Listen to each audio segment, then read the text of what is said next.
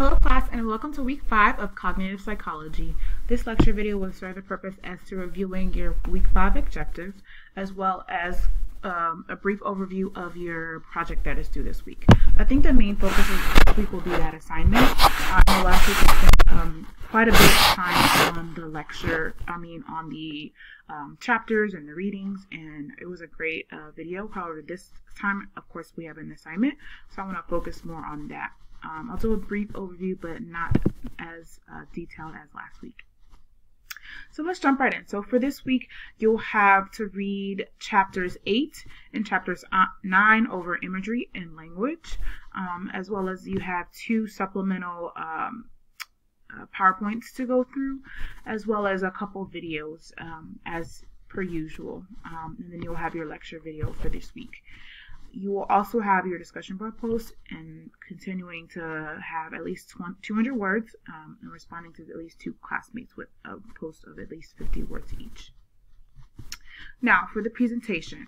Um, so I wanted, like I said, I want to focus on this. So the main tenet of this assignment is basically to help you evaluate and analyze measures used for diagnostic categories. Um, so, and that's of course one of our learning goals for this week. Um, so the focus of this assignment should be, you should include what you've learned throughout the week's readings and assignments and instructional videos. So every um, PowerPoint that you have, every video, you can incorporate that incorporate that into your PowerPoint presentation. So this assignment will be a 10 slide minimum PowerPoint presentation um, and it'll focus on the following situation. So at your church, there is a woman in, of the congregation whose child is struggling with language. This woman knows you are studying psychology and approaches you after church service with some questions. She is clearly concerned about her one year old daughter who is babbling and saying a few words like mama, dada, baba, and hi. The woman indicates she believes her daughter should be speaking in full sentences by now and is worried there might be something wrong with her development. As you listen to the woman's concerns, you believe your you believe her daughter seems to be developing normal language skills given her age. You offer to provide some information about normal language development to help ease her fears. The woman is relieved and enthusiastic about your offer and asks if you would consider sharing this information with other parents of the church who have young children. You have agreed to create a presentation regarding an overview of language. For this presentation, you will have you there should be eight slides of text, um, so not including your title slide and your reference slide. So minimum eight slides uh, for your main body of work, but minimum of 10 including your title and reference slide. Each slide can contain at least a minimum of three to four bullet points of content. Um, so I want to pinpoint on that as well. And I think that a lot of times when we think of PowerPoint presentation, we think of short and sweet, um, just so we can jog our memory. However, this needs to be more detailed and more um, thorough with information. So I I am a stickler for this, um, considering it is a, is a presentation that is providing not only information for the lay audience, but for me to gather uh, what you grasp with the topic. So be sure to be more thorough uh, than you normally would uh, for PowerPoint presentations. Um, so, like I said, three to four bullet points of content. Um, complete sentences are not necessary, but the bullet points should c- contain enough text and sufficient communication communication of your thoughts, like I mentioned before.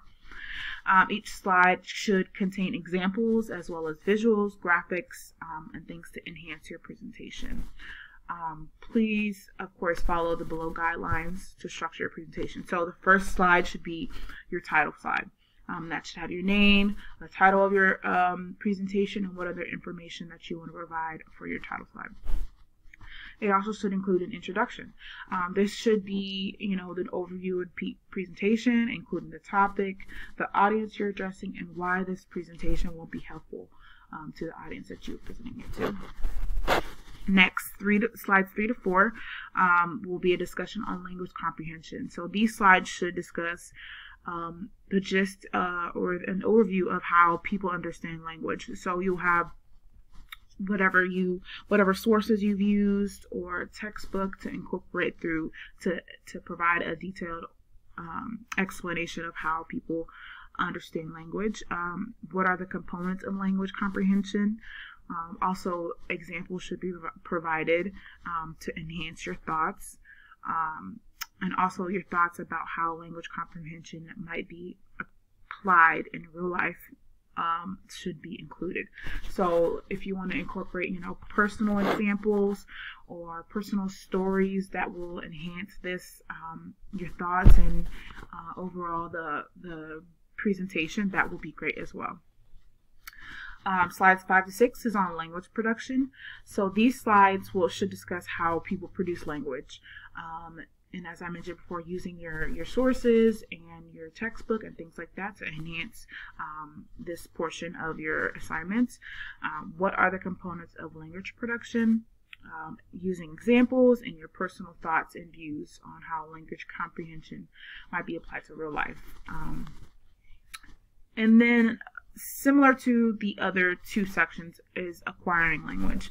So these slides should also have uh, detailed information on how people develop language, uh, how do babies learn language, um, how does language development uh, progress through one's lifespan. So, what might that look like when someone's a baby, and what might that look like when someone's um, middle aged, and what might that look like when someone is an older adult. Um, so, focus on those different levels of um, someone's lifespan um, and using examples and things like that for each um, each time frame through li- their lifespan. Um, and also your personal thoughts and views on how language acquisition might be applied to real life um, it should be included as well. And then lastly, for your the bulk of your assignment um, is a faith integration and conclusion. Um, so these this slide should discuss you know the the connection between what the Christian and what the Bible are and what God says about uh, language and uh, how that, those two connect. Um, what does this does the scriptures have to say? So providing examples um, via scripture or even um, if you found a research article that discusses this, um, providing that in there as well, that information and those examples. Um, and, and, ultimately discuss your concluding thoughts about language and the overall view, Christian worldview of it. And then lastly, you'll have your slide 10 um, with your references. So for this assignment, I'm asking that you include at least two peer-reviewed references that are not your textbook. Uh, so two articles that you found on um, through the portal, library portal, or even Google Scholar if you use that. Um, and then you can also use your textbook, but I do not want it to be the main tenet of your basis of information and knowledge. Um, you can use it um, to supplement your thoughts and uh, material and information, but incorporate um, those peer-reviewed sources as well. Um, so, as I mentioned before, websites are not considered valid reference um, academic and academic academic work.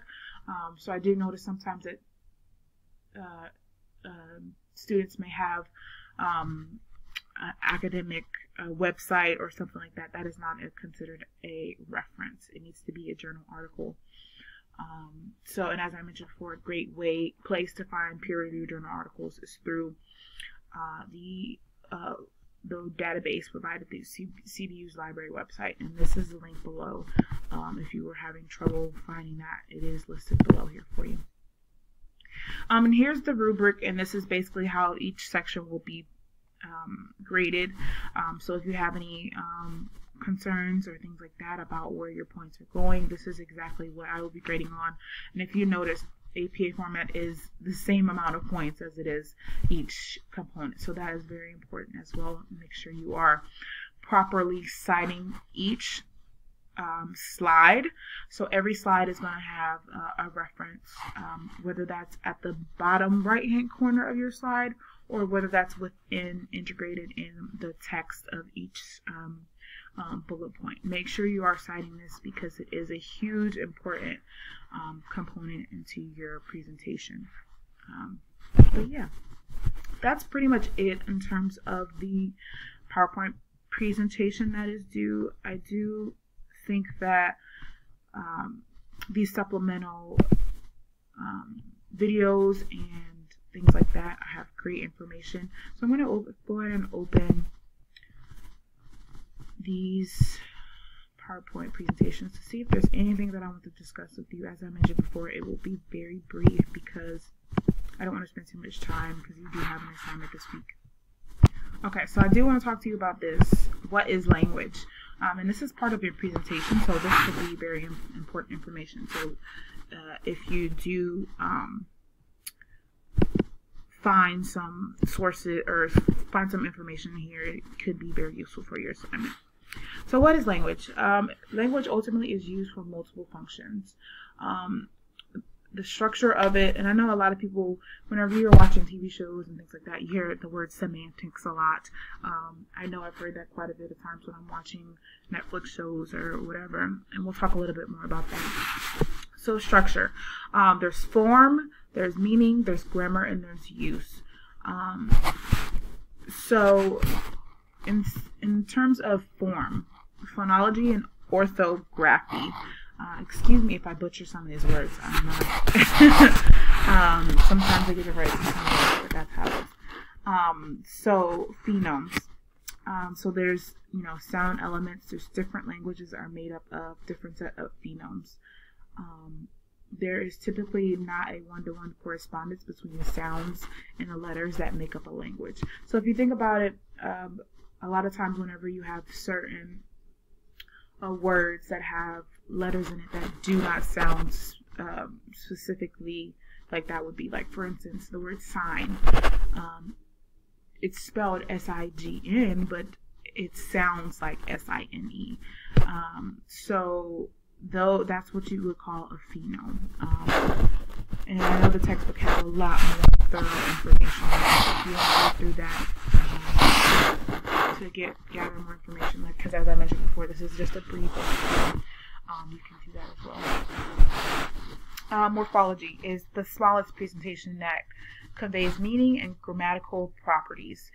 Um, in some or most cases, what we think of as words are single morphemes, such a such as cow, um, and also in many cases, uh, words are made up of multiple morph, morph, morphemes. um, so yeah, so simple words um, were, and if you think back on how we learned um, syllables and things like that back in elementary school, cow, um, it's only one um, syllable and things like that. So that's similar to morpho morphology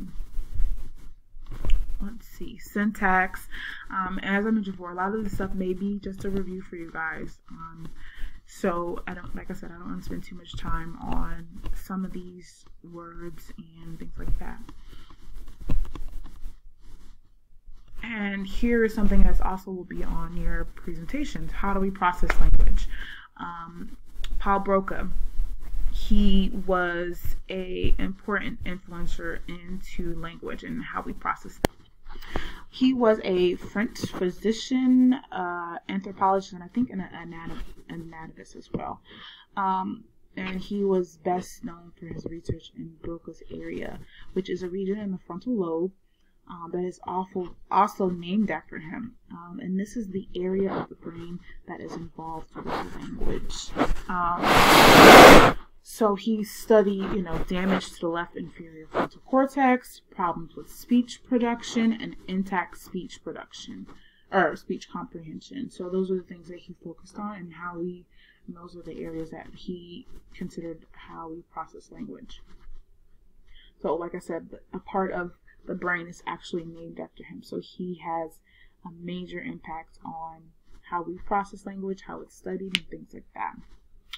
Um, he also de- developed several neurosurgical methods that advance our ability to examine the brain post mortem uh, and things like that. So he's responsible for the, say, for instance, someone dies and, ex- and exploring and um, examining their brain. He developed a lot of the ways that uh, we do that in modern terms, in modern days now. In addition to Broca, uh, Karl Wernicke, um, his name is also spelled with a C, but here it has it with a K.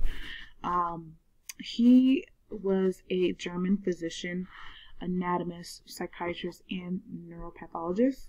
He is um, mainly known for his influential research in the pathological effects of, I want to say, specific forms of um, encephalopathy, um, and also the study of receptive aphasia, both of which are commonly associated with uh, his name. Um, and I know those are big words and it's hard to understand what that means. He basically studied and examined the damage to left posterior temporal lobes, um, problems with speech comprehension, and intact speech productions. And that's also developed how he um, how we process language and the important components of that. So moving on.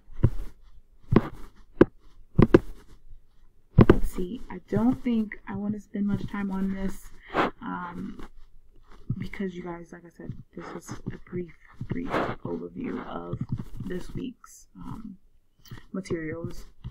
The main focus was the presentation. And also, of course, acquiring language is another part, part of your presentation that I do want you guys to focus on as well um, whenever you are reading.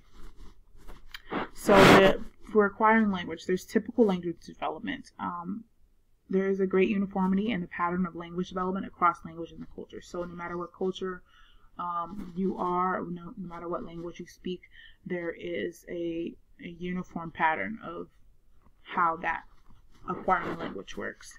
Um, and it starts very early within the womb. Um, and language production typically lags behind language comprehension. Um, and and that spans, like I says, across all cultures and languages. And that is it for this week's lecture. Um, like I said, if you have any questions, comments, concerns, please feel free to reach out to me. Uh, I am ready and available to answer any of your questions in terms of um, your assignments and things like that. I will post this lecture video uh, immediately. I know I was a little late today. Um, but um, I have it up for you guys, and I will talk to you next week. Hope you have a great week, and good luck on your assignments.